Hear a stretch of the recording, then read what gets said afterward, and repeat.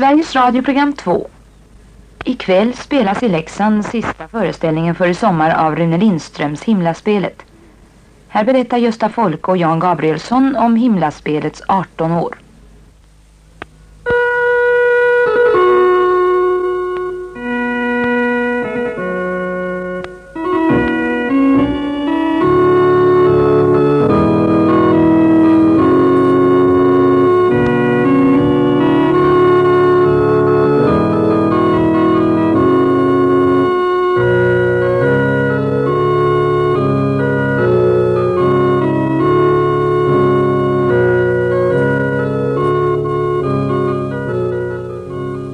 Spel om ett spel som till himla bär i sex tavlor och en mellanakt.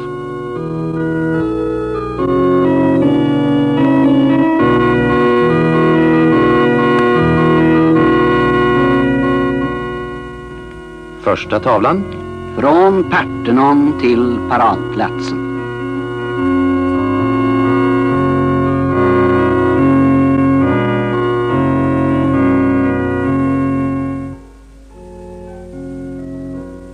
Partenon är som bekant ett tempel på Akropolis. Men i det här fallet var det smeknamn på ett studentskehem i Uppsala.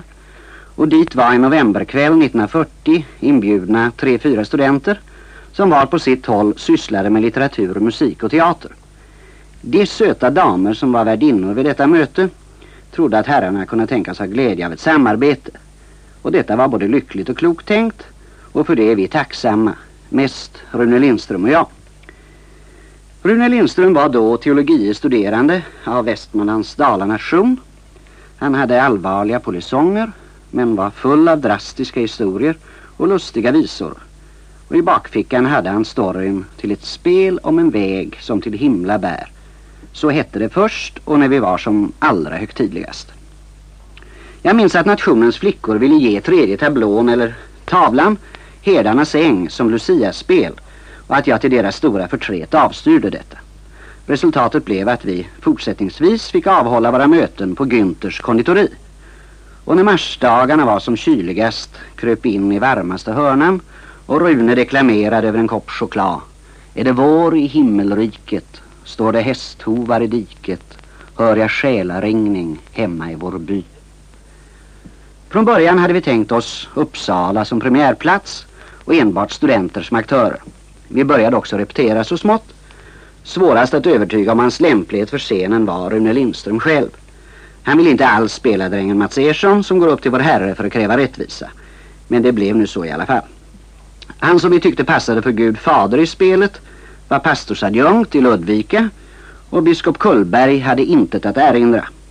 Han formulerade stillsamt den bevingade repliken Jag torde vara den första biskop som beviljat vår herre tjänstledighet.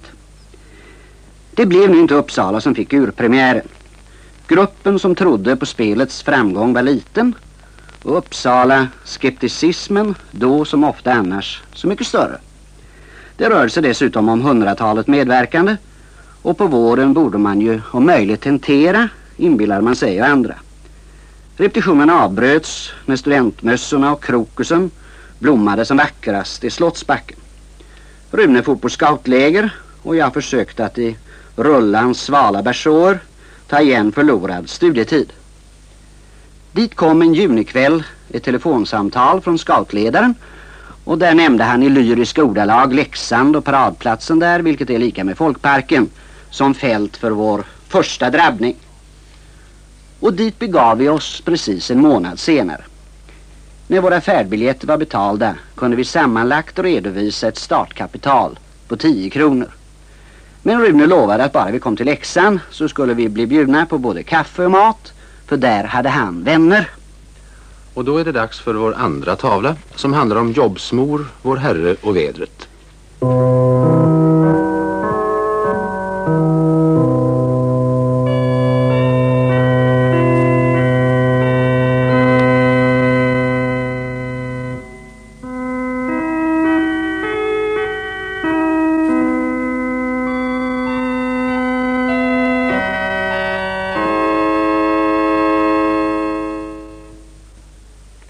Tio kronor hade ni i startkapital och mat och kaffe kunde ni få i gårdarna. Men eh, det brukar väl ändå kosta lite mer än så att sätta upp en teaterföreställning. Här ska jag be att få citera en av himlaspelets nyckelrepliker. Det är trona som allt ska bero på. Grabbarna där uppe, Runes vänner som snart också blev mina, trodde på oss. Därför hjälpte de oss i våra materiella bekymmer och det gjorde på sitt sätt hela bygden. Ute i byarna igångsattes klappjakt på svarta långrockar till spelets tingscen. Slokhattar till krigarna i den rike mannens här. De åkte med i samma röjning. Olsson och kompani, herrekipering vid Norsgatan, putsade upp alla höga hattar som fanns i lager, så kallade sabbatskrukor. Till dekorationsbitar tiggde vi kartonger.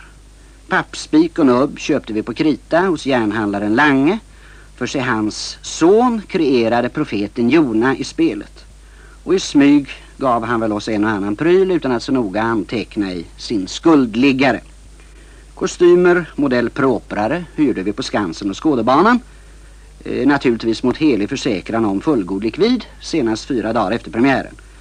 Perukmakaren var yrkesman och han hette Sven Elftman.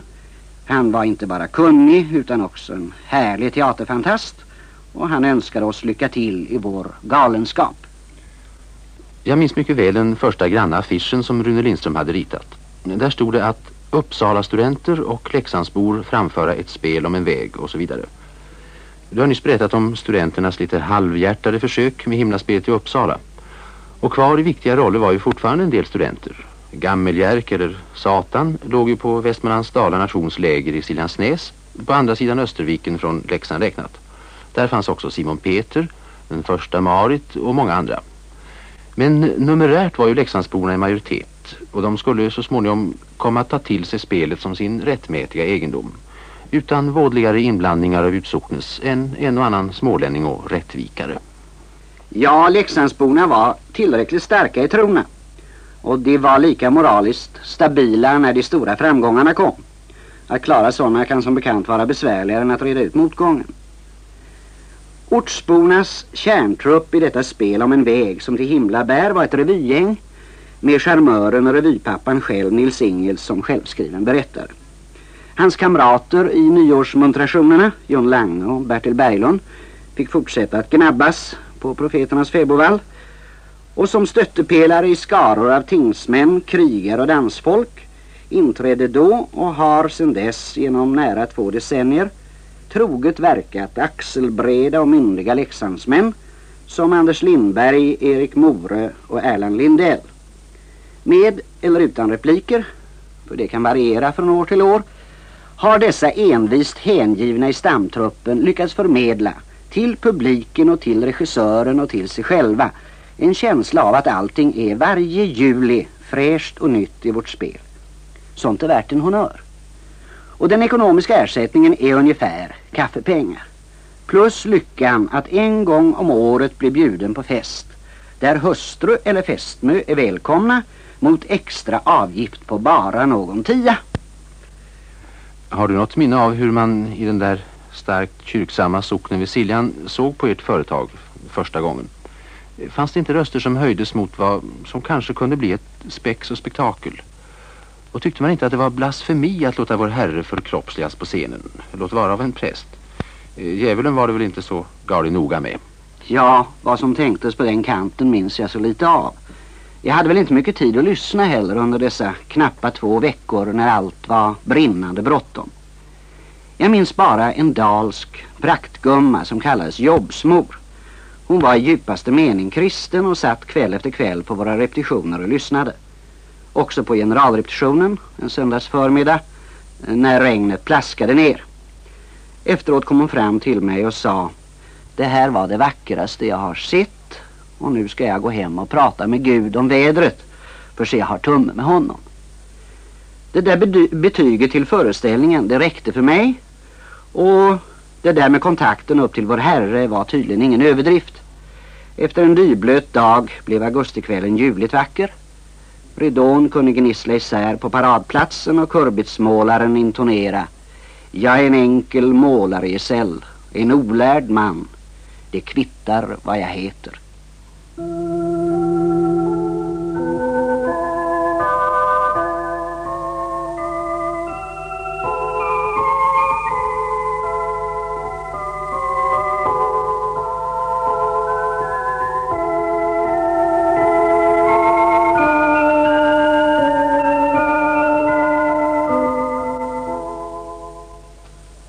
Så kommer vi till tavlornas tavla, den tredje.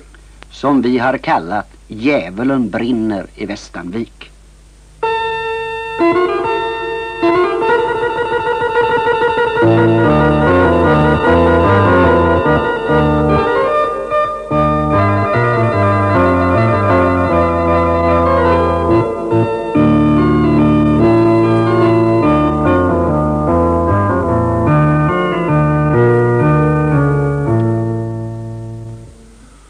Det vart morgon dagen efter och två unga studenter och några till vaknade yra och häpna och fann sig berömda. Ja, premiären fick en sensationell uppmärksamhet. Det talades om att Sverige nu fått sitt Oberammergav. Ett drömspel så dalskt, så svenskt som tänkas kan och så konstnärligt fläckfritt att det söker sin like, skrev någon. Publiken var lycklig, alla de agerande var lyckliga och Rune och jag visste att vi skulle klara helinackorderingen på turisthemmet Tre Kullor. Vi kostade faktiskt åtta kronor per man och dag.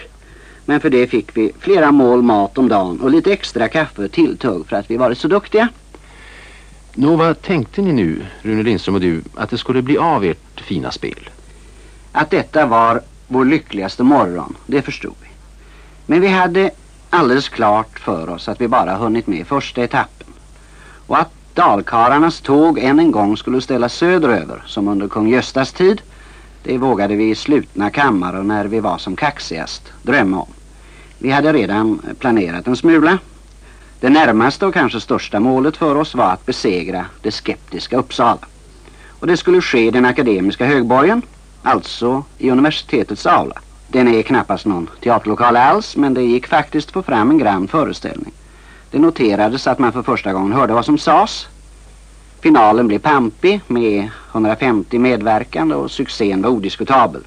Uppsala Nya Tidning skrev Aulan var en sjudande kittel av hänförelse och ändå var det inte fråga om några överdrifter utan bara ett enkelt uttryck för precis vad man kände. Slut på citatet. Jag erinrar mig mycket livligt att jag på ett eh, egendomligt sätt faktiskt bidrog till den där succén. Eh, som du minns var jag en av de två tjänarna vid rika mannens hov. Och vi två hade till uppgift att ge illusion av en hel härskara tjänare. Rena massverkan med andra ord. Det gick till så att vi en i taget rusade in på scenen från höger med stånkor och fat och kräsliga rätter. Störtade över scen upp för trappan till rika mannens höga loft där vi dukade upp en måltid. Sen fortsatte vi ut till vänster i kulissen och sprang i ilfart runt aulaomgången för att flåsande störta in från höger igen med nya fat. Nå, i hastigheten råkade jag placera en jättelik och saftig gräddtårta lite slarvigt på bordskanten. Och plötsligt blev det andlöst tyst i hela aulan. Rika mannen, det vill säga Rune Lindström, och vår herre, Nisse Gustafsson, tystnade också. Det enda man hörde var några dova dunsar när gräddtårtan rullade ut för trappan och ner mot rampen.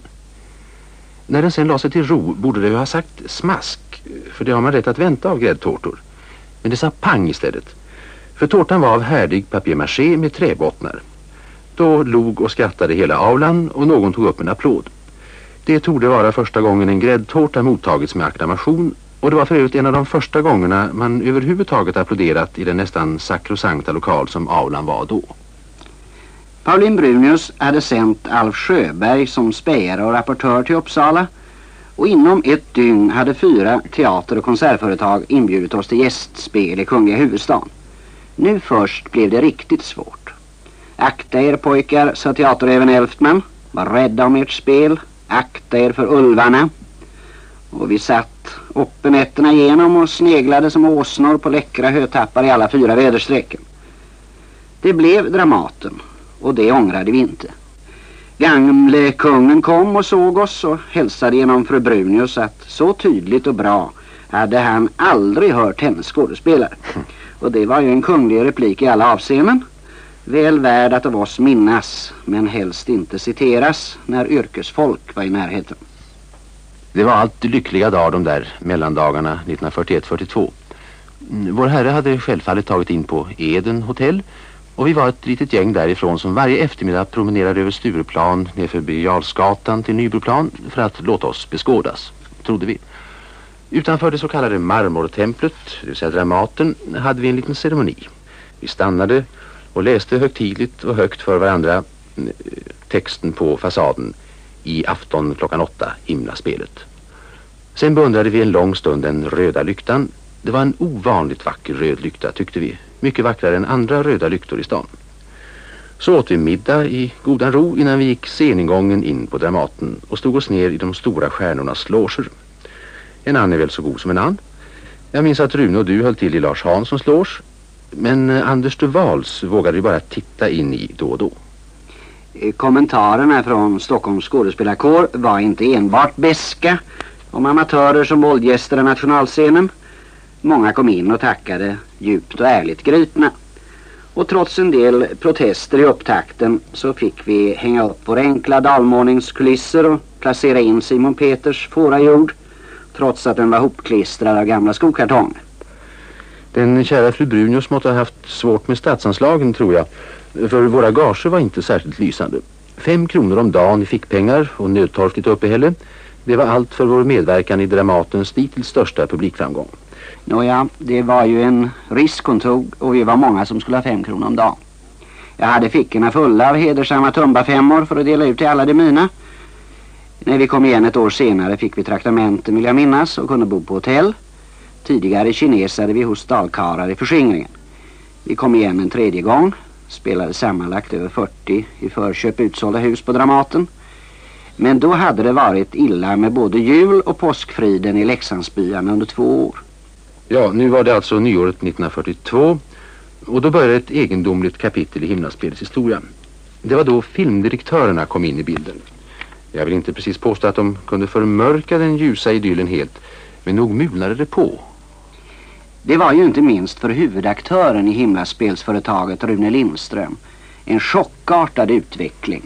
Att i en handvändning göra om en filosofie kandidat i folkminnesforskning och teologie studerande till stjärna i svensk film med internationell syftning. Men han lyckades. Genom sin intuition så hittade han rätt både i manus och roll. Övriga himlaspelare ställdes ju naturligt nog på sidan om filmföretaget. Leksandsfolket slöt till en början troget upp men nu hade något som heter gager dykt upp. Och diskussionen om himlaspelet och mammon höll bönderna varma där de i slädar kryssade ute på Siljans isar i svår vinterkyla. Djävulen i filmen, Emil Fjällström, for som ett jehu i Västanviks backar med kärblås i handen. Vargskinnspälsen fattar eld och i snödrivorna rullade mörksens första som en brinnande fackla. Det är dagar som går till bygdens historia. Lilla dalupproret när statisterna skulle strejka och den underbara vinterkvällen när Josef och Maria var på väg till Betlehems krubba via ett härbre i Siljansnäs. Filmen om himlaspelet blev, tycker jag, en rätt märklig blandning av hänförande vackra vykort och medelmåttig thriller. På sitt sätt var det kanske en bra film, det tyckte i varje fall filmstudiofolket och förståsigpåarna. Men inte var det himlaspelet. Nej, inte vårt himlaspel, men ett annat. Och det gjordes också med hängivenhet och stort kunnande. Och det har setts och erkänts av flera kontinenter. Himlaspelet som film blev vår första stora moderna internationella succé och detta utan en enda liten badflicka. Mm. Det är inte illa, snarare värt den största respekt.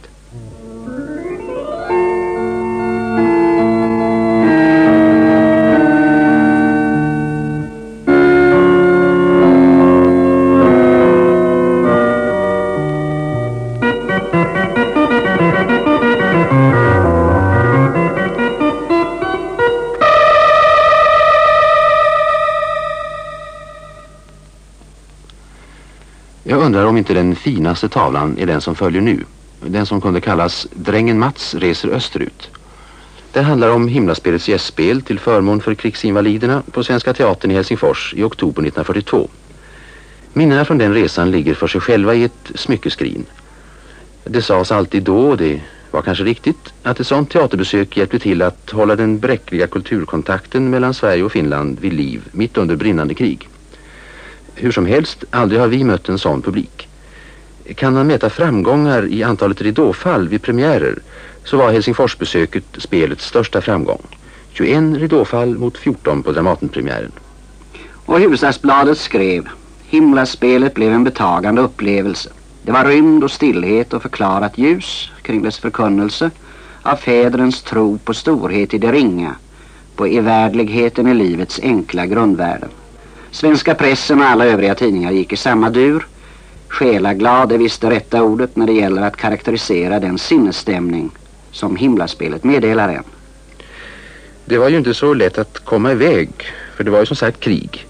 Men själva krigsläget var inte det värsta hotet mot vår resa.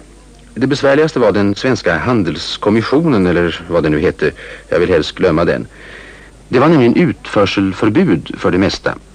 Och jag minns hur vi sprang oss svettiga och ringde ovettiga samtal för att få utförslicens för kulisserna med himmelens port och peruken med gammeljärks bockhorn och mina änglavingar av papp. Jag undrar om det inte var någon på kommissionen som misstänkte att vi skulle göra gulaschaffärer i det fattiga Helsingfors i gamla ruggiga gravölshattar och ett dussin hillebarder av trä. För att inte tala om grishuvudet för kung Salomos julbord, också det av trä. Det var som sagt krig och resan över till Helsingfors blev dramatisk med konvoj och uppdykande ubåtsperiskop. Sen vi väl kommit över behövde emellertid ingen av våra tolv föreställningar på tio dagar avbrytas på grund av flyglarm.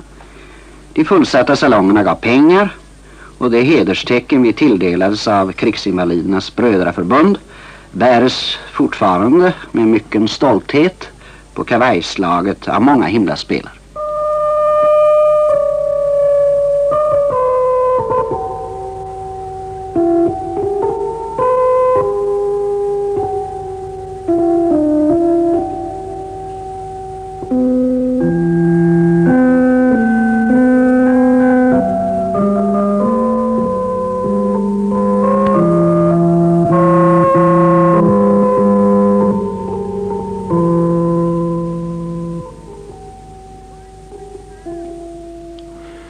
Femte tavla i detta minnesspel om himlaspelet bär följande överskrift. Vi har varit på turné och har kommit lätt på sne.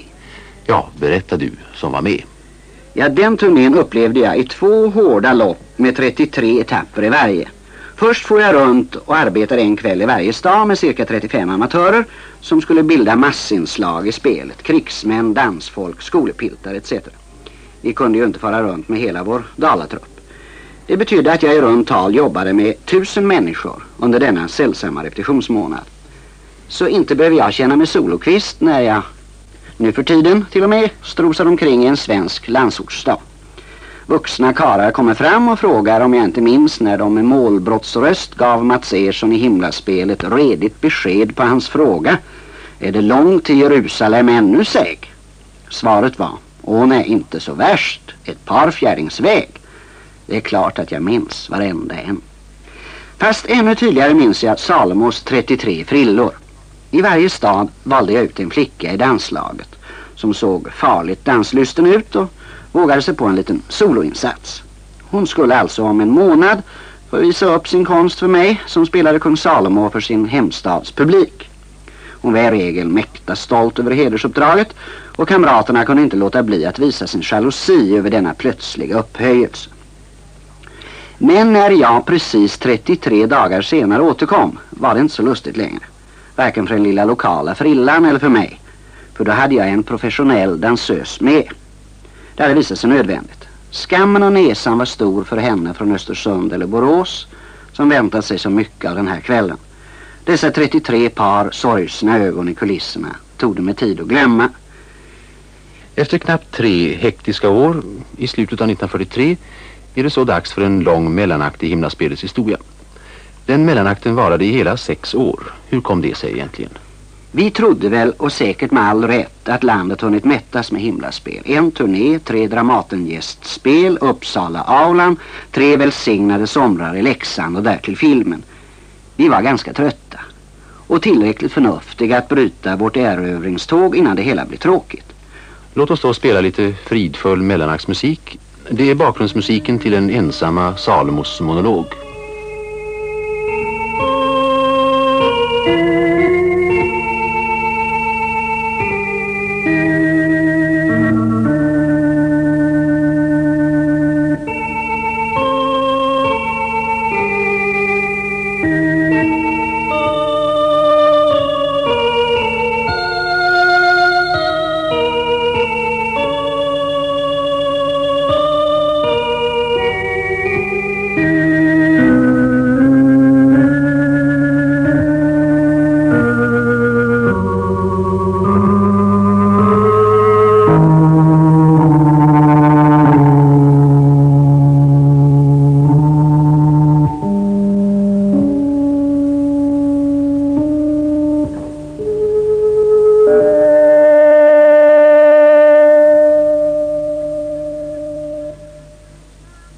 Och så är vi framme vid den sjätte tavlan, den stora tavlan som både här och i spelet har rubriken Det förlorades paradis. Och det är 1949 när andra akten ska börja. Innan slutridån går för himlaspelet säger Mats till vår Herre på frejdigt dalskt maner. Du Gud, jag är hemma. Och hemma var vi igen, i Leksand och på vår paradplats där vi startat. Alla var spelsugna. Att profeterna blivit några år äldre skadade inte och i stimmet runt lejonet av Juda snurrade himlaspelets andra generation av agerande. En gammal dröm förverkligades snart. Vi byggde en egen scen i Samhällsdal, bred som Malmö stadsteaters och sprakande av strålkastarknippen. Men att konkurrera med solen på söndagsmatinéerna, det lyckas klent. Hur många åskådare som maximalt kan rymmas på denna naturens egen gröna parkett vet vi inte. Men jag tror vi upplevt omkring 5000 personer på en enda föreställning. Här spelas alltså teater för minst 20 000 människor från all världens hörn varje sommar. Och alltid i fruntimmersveckan. Ingen föreställning fram till 1959 har behövt inställas. Hur länge ska vår Herres förbund med jobbsmor av år 1941 hålla? Och ska han inte tröttna på vår hybris att inte ta regnförsäkring? Ja, jag ber inte om regn men jag bara undrar. Ja, sen vi nu har fått berätta våra minnen av 18 lyckliga år med himlaspelet skulle man nog försöka förklara hur detta spel inte blivit ett skäggigt krönikespel som många andra. Eh, inte bara en fast institution som från år från år behåller sitt grepp om publiken utan också en av våra allra genuinaste och finaste turistattraktioner. Inte minst för våra utländska gäster. Spelets innehåll, jag menar händelseförlopp och förkunnelse är så självklart att inte ens en utlänning går därifrån utan att förstå allt väsentligt. Färger och musik ger associationer till en gången tids tro och människor. Förankringen i arv och ansvar kan ingen undgå att förnimma. Att himlaspelet blivit en fast institution beror innerst på ensemblens vilja till sammanhållning. De som agerar i spelet kan inte tänka sig vara utan det. Och bland dem finns det eldsjälar och deras sturiga men tändande tro kan åstadkomma under. Att publiken kommer år från år och om och om igen kan näppeligen bero på någonting annat än att den behöver himlaspelet. Spelets ärende är så angeläget att ingen behöver skämmas för att han gråter av glädje i slutscenen. Trots att vi ogärna vill erkänna det är vi alla fyllda av frågor och väntan. På samma sätt som drängen Mats Ersson vill vi tjuvglutta i dörrspringan till det förlorades paradis. Den teologie studeranden Rune Lindström blev inte präst som han tänkt. Men han fick en bra predikstol i en stor kyrka. Och hans predikan inte lätt att recensera. Men du och jag och många hundratusen andra kan vittna om hur den bitit på det egna själaskrället.